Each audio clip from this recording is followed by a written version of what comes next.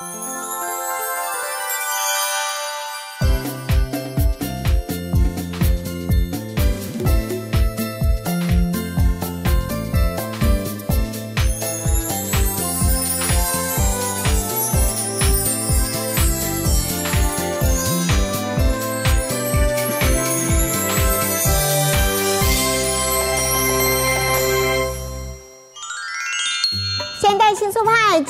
跟我来。我们都知道，老人家啦，还有小朋友啦，甚至于有很多的人他的牙齿不好哦。那么营养师又告诉我们了，我们的生食熟食都要均衡。可是生食有些就嚼不动啊，那这样子怎么办呢？没关系，今天我们的营养师陈一静老师呢就要来告诉我们，我们怎么样来处理生食熟食，而且它们之间的比例应该要怎么样才是吃的最健康喽。一集呢，我们的观众呢，像我一样啊，这种老人家、阿公阿妈，还有传孙呢，大家要仔细的来看了哈。那我们的一静老师就要教我们，我们那个牙口不好，但是又要吃到有营养，那要很多的地方是要注意的，对不对？是。这就让我刚想到一个广告，不是说我年纪大我搅不动，小妹妹就说，可是我年纪小我也搅不动，就是这个意思。对，好，那今天你。呃，会用哪两道料理来做一个示范呢？好，我今天主要是有一道是彩蔬的一个凉拌，那另外一个是针对我觉得尤其是老人家需要补血补气的，我有准备了一道花旗参的鲜菇汤。哦，你都不知道，我昨天看到食谱，我就在讲说，我这两天一定要煮来给我自己补一补，真的很赞，很赞，很赞。那我们大家就一起来看一下，要准备什么样的材料跟调味料喽。花旗参鲜菇汤材料有什锦菇一大盘，花旗参十克，枸杞适量。调味料有冷压苦茶油两大匙，盐适量。芝麻酱十蔬，材料有杏鲍菇两只，黑木耳一朵，红萝卜一条，小黄瓜两条。调味料有白芝麻酱两大匙，冷开水两大匙。盐一小匙，好啊，看到了是不是就觉得很健康？颜色好丰富，但是你要先煮的是哪一样？我想我们炖那个花旗参汤需要时间，所以我们先开始。那这个非常简单，我需要凉开水，凉水水就好了。先把水放进去里面，先把水放进去，对，帮我倒倒进来。好，然后哎，刀子，菜刀，好，来菜刀我我拿给你，好。来你看这水够不够？呃，好，可以。我先把食材放下去，下就有一点迷糊了。现在我放了，要开火，先先不急，没关系。我们先把食材全部丢下去，再一起开火。这个跟我们的，我相信我们的观众里面有太多这个煮饭煮了超过一甲子的人，对我又要颠覆了。我们也没有说这样啊，等它滚再放食材，其实我们传统的做法。对，其实我也是职业妇女，所以我的料理都是非常简单，就是很懒惰，然后就可以做出好快又好吃的料理。然后营养又留住。你自己本身要是营养师，所以你会特别重视到，就是说它吃下去对我们的身体有没有好处？对，没错。所以快速、营养又健康哈。对。那可是我们的阿妈呢，就是呃也会有想到营养，但是传统的做法就是。要好吃，对对不对？所以我今天准备了好多，因为既然是鲜菇汤嘛，我们就准备了好多菇。反正市场上我可以看到的菇，我全部都买回来台湾的菇菇是很多的，对，珊瑚其实我在外面有看到那个什么，现在不是有很多是烘干的菇菇吗？哦，你说干香菇吗？干香菇啊，干茶树菇啊，对，那种也可以也可以，也可以。那只是说，因为我今天标榜我是鲜菇嘛，所以我就是新鲜的菇类。喝了会变仙菇的，是是是，哇，好像太多了，百菇嘛，对不对？就是给它很丰富。呃，好，就这样子。那这然后呢？很浓郁，对，很浓。那我想这个汤是香美。这时候我就介绍一下，因为这是西洋参，就是美国的正宗的花旗参。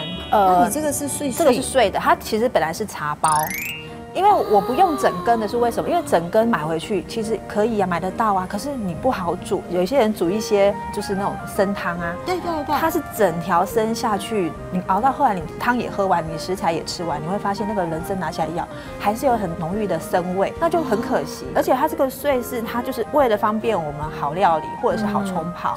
因为它比较容易试出它真的一些有效成分。那我冰箱里面是还有一罐，就是说我在那个药房请他是切薄片，切薄片也是也 OK，它总比整只好。那也是要泡水。呃，泡水是因为我希望它快速有味道，跟它释出有效成分，所以我们我先用冷开水泡了至少一个小时，大概一个小时两个小时，其实就有味道。你为什么要用冷开水？为什么干脆不像泡茶一样用热开水？因为我要保留它的营养。如果用热水冲泡，我怕有一些有效成分挥发物质还有可能会挥发掉，所以我用冷水，我宁可花时间去泡，慢慢把它释出。泡一两个小时是用冷水，那我们泡人参茶不是就用热水那个是你要泡。来喝的话，那当然是用热水啊，马上喝，然后你盖子要盖着，不要去挥发。重点是那个挥发的这件事，有些有效成分会随着这个热气会挥发掉，那就很可惜了。哦，你看，才刚开始煮，已经哦学到了，所以我们就把这个我们连我有一点点水嘛，不要浪费，我们一样把它放进去。我这里大概是用了有五包的茶包，因为自己吃嘛哈，我们就。大手笔多一点，其实这个真的我要再加一点水，对，好不好？然后这个时候哈有一个重点是重点，大家仔细听是我用我加了油啊，直接现在就加里面。对，我加了油，为什么？大家有没有想过？其实我们像有些那种。中药材，它就是要有里面的油脂哦，然后才能够把里面的一些有效成分，药材里面的有效成分把它给释出。所以如果我今天这锅素的呃仙菇汤，我完全没有任何的油脂，有可能的一些脂溶性的营养素出不来，哎，也很可惜。脂溶性营养素出不来是除了那个参也有一点关系，有然后当然我们的菇里面也有啊，也是有。所以呢，我今天是用的苦茶油，我们台湾很就是很很棒的古老的一种油脂。那其实这种油你也不用怕多，大概我想就是一般如果家里有那种汤匙，大概是两大汤匙都没关系，没有问题。好。就这样子，然后呢，再把枸杞有一点颜色，然后也是有点枸杞的甜味。你们看到没有？还没有开火。好，就这样子喽。这还真奇妙哎。好，那这个时候再开火就好了。我在等他什么时候开火，总不能叫我喝咕 泡咕咕汤吧？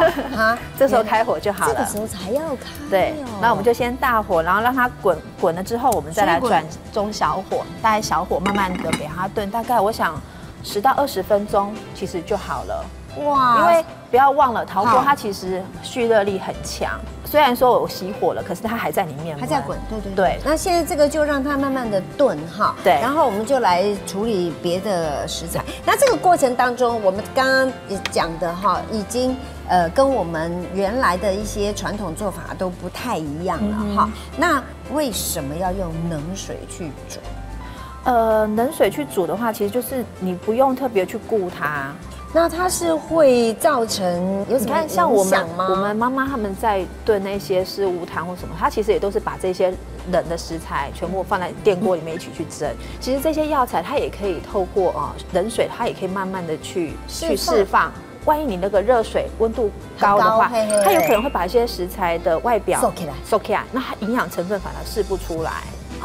所以你冷水让它慢慢的释放，一让它慢慢的增高温度，它会习惯，那些食材也会习惯，它就很自然的、很轻松的把营养素都游离出来。哎呀，所以说你看到没有，这个就是又算是一种厨房物理学了哦。好赞，来，现在呢，这里是要烧水，对我再来就是要来呃做我们有个凉拌菜。好，那那这个凉拌菜可就是有一些问题要要请教了。然后呢，我们看到的哇，有一个是大家看到这个图片没有啊？漂不漂亮？哦，五颜六色，对不对？所以说这个叫做这个不生病，实在很简单。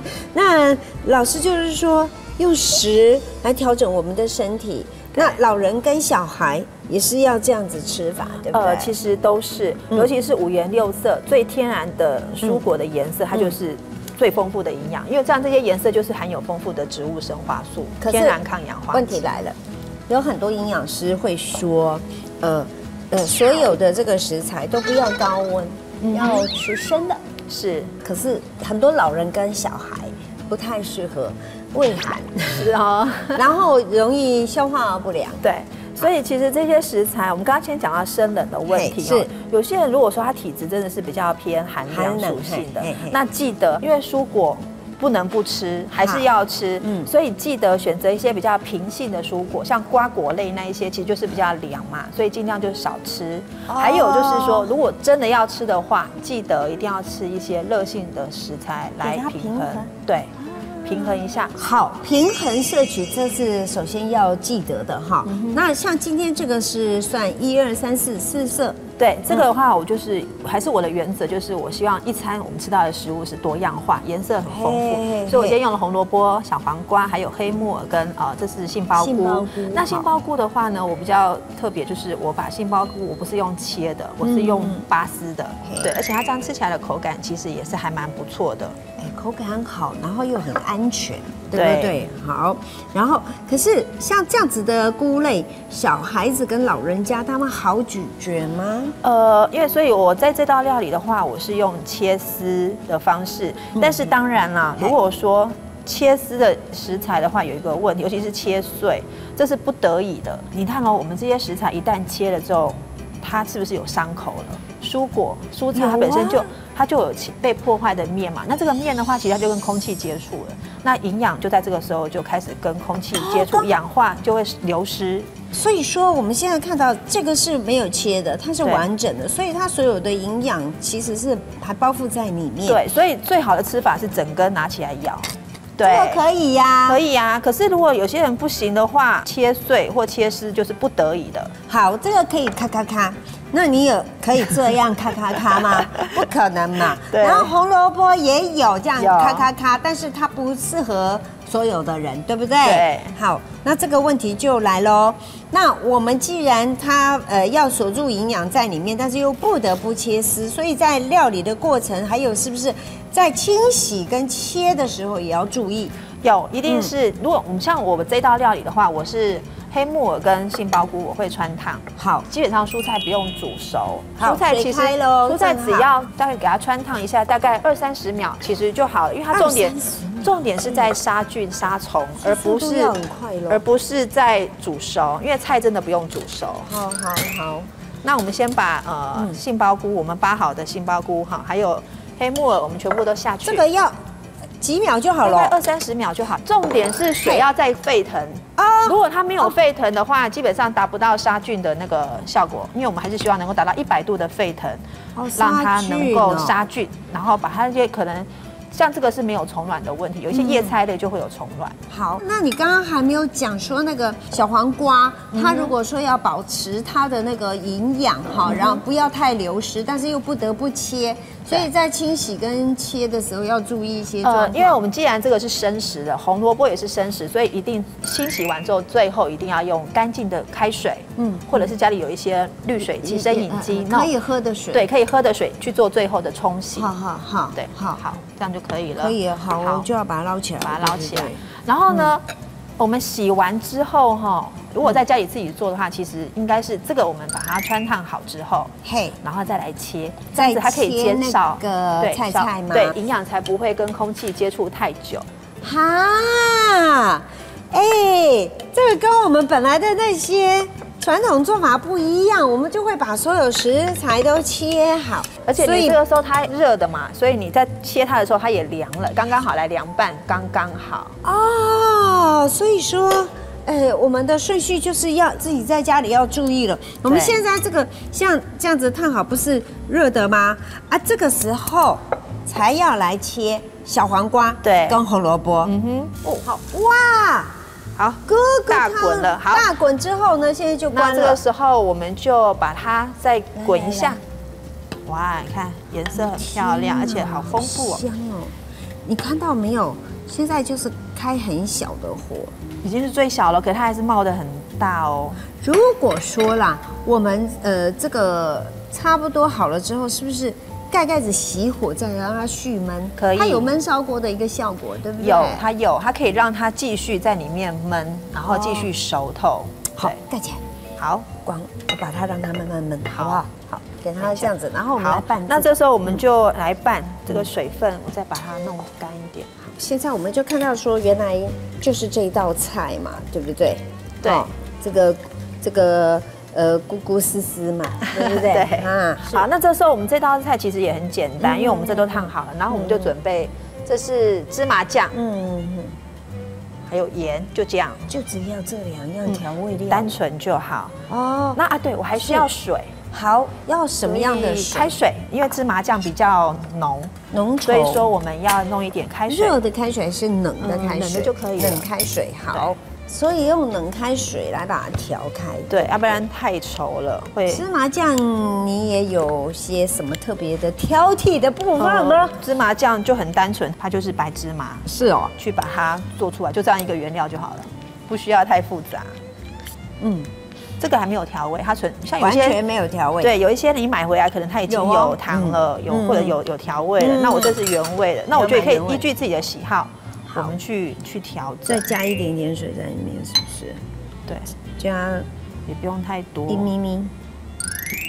好，那如果说像我是比较单纯，我只放盐。那如果说有些人觉得哎好像还不够味，它也可以加一点好的手工印油，它味道也会还蛮丰富的。哦，其实那个呃，又多一个印油的豆香味，对是不是？而且就是整个味道它也会提香。哦，如果说不用芝麻酱的话，用什么 miso 酱也可以吗？也可以呀、也可以。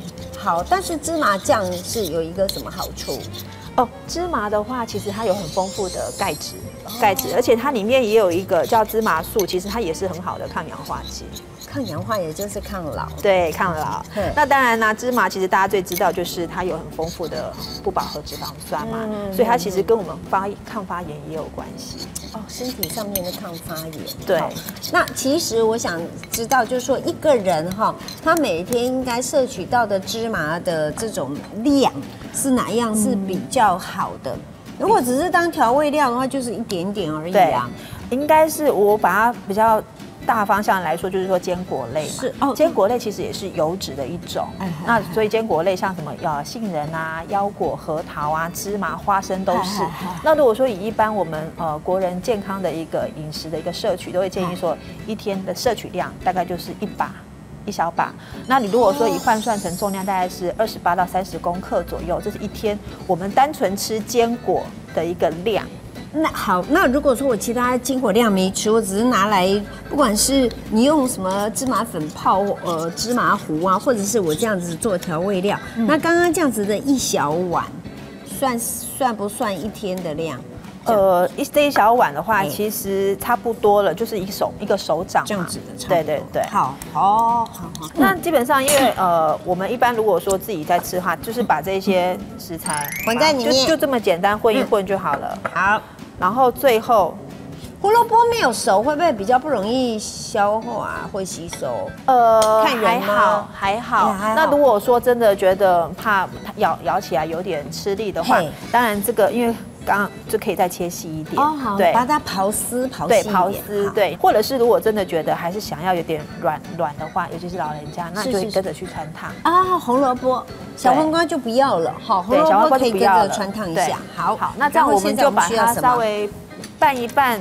好，那这个蘸酱理论上它嗯可以再稀一点。好好，不过我待会我想我们用粘的好，因为这样比较漂亮。如果淋上去，它可能颜色就比较就是我们盛盘之后呢，我们要吃的时候，我们再淋上去，不要淋好了再上桌，这样子就不漂亮了，对不对？对那所以呢，现在我这位老太太。最想要喝的就是那个花旗参菇菇汤，我们现在就来一起吃吃看喽。花旗参鲜菇汤做法是：花旗参先用凉水浸泡一至两个小时备用。锅中倒入两千 CC 的清水，再将什锦菇、切碎的花旗参、苦茶油入锅之后，开火熬煮约十分钟。接着熄火，再续焖约二十分钟之后，加盐调味就可以了。芝麻酱时蔬做法是：杏鲍菇剥丝，黑木耳切丝，一起放入滚水中穿烫二十至三十秒之后，取出放凉备用。将红萝卜、小黄瓜切丝，白芝麻酱、盐、开水调匀备用。将所有的食材摆盘，再淋上调好的酱汁就可以了。不好意思，先喝一口。嗯，哦，好喝到不行哦。我们自己在家里，嗯，也是会煮百菇汤，可是这个味道，它好像全部就是没有不见呢。我刚刚也就只有加盐哈。嘿啊，哎，这姐你有看到？我只有加盐什么都没有呢。汤汤头是很丰富的，而且好鲜哦，好鲜甜哦哦，而且那个呃花旗参的那个美味、甜味跟香味。就给它释放在里面的，对不对？花旗参其实是很适合年长者的一个一个调理身体，还有小朋友也适合。其实他们大人小孩都是有温和，对它算是比较温和平性的一个滋补、补血、补气。嗯，它跟一般的呃人参呃韩国参比较不一样，因为那个比较上火燥的，所以有些体质的人不适合。可是像花旗参是任何体质的人几乎都是适合，没有不太适合的。好，然后呢？这个呢，就是很健康的。那我们现在就在讲说生食跟熟食的比例啦。问大家一个问题：是，你看地球上哪一种动物啊，哪一种生物是吃熟食？人，只有人。然后你想想看，我们以前老祖先，他们是吃熟食还是吃生食？生食，生食，因为他们没有火啊。对，所以呢，我们人类是自从发明火之后啊，才开始知道火的好用。火带给我们光明嘛。所以晚上你可以哎做很多事，然后点个火，开个灯，可以继续做很多事情。所以发明火之后，人类开始晚睡了，晚睡糟糕，身体不好。然后呢？对，然后发明火之后呢？哎，我们会把食物烧烤，像以前以前祖先他们可能去打猎捕鱼，他们就是生食就吃了。可是发明火之后，发现哇。这个这个食物把它烧烤过，哇，变得更美味，尤其是蛋白质特别香，特别香。所以怎么办？过度烹调造成食物又坏掉了，然后油脂也坏掉。嗯，所以最好的一个饮食的原则是尽量生食。可是不可能，你叫我全部都吃生的，我也做不到。可是蔬果哈，当然是说要保持生食，对不对？对。可是真的不好入口啊。啊，就如果真的是觉得不好入口的话，有有个有几个方法，把它打成蔬果汁，那就用喝的嘛。那再来就是说，你可以把它稍微穿烫个二三十秒，让它能够杀菌，啊，去杀掉虫卵，是是，这样就好了。那这样的话，基本上它营养流失也不算多，但是至少你还吃得下去。好，但我想请问一下，生菜沙拉对不对？那像呃天气冷哈，那生菜沙拉那。完全生的，那我又想说让它有一点温度，然后又要达到杀菌的效果。那这一类的是叶菜类，对我也是可以水滚放下去，赶快捞起来吗？或者是蒸一下也可以，那还是不会破坏它的营养素。呃，我们可能分程度，它因为生食可能是百分之百的保留，可是你可能如果哎二三十秒的穿烫，可能假假设可能百分之八十九十的流失，嗯，那跟你完全哦，把它像那种北菜肉。